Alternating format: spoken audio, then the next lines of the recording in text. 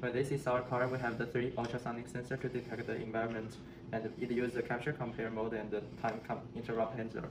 And for the distance detector, we use the Hall effect uh, sensor.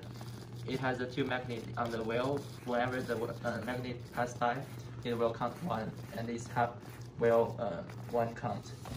And for the motor, uh, we are using two uh, H bridges, and one H bridge for the motor and one H bridge for the vacuum and it was powered by the this big battery bank and it has a 12 volt supply.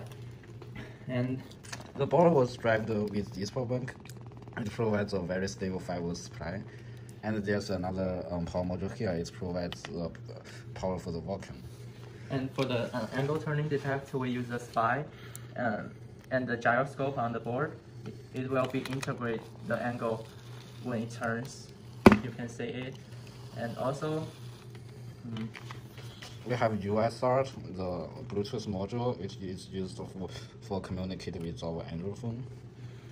Okay, that's pretty much for car. And the interrupt we use is one is the capture compare mode and one is, one the, is the Hall effect counter and, and the USR.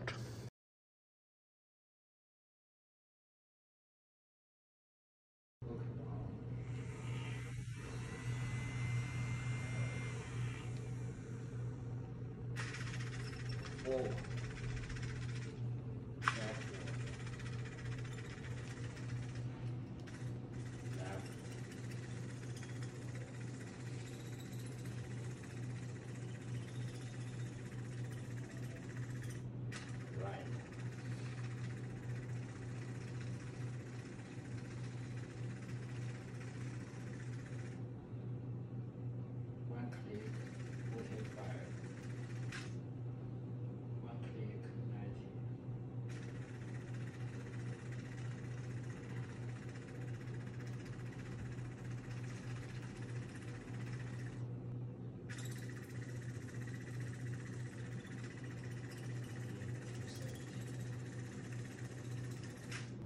And for the auto, auto drive and random drive part, uh, we use the state machine to control the behavior of the car.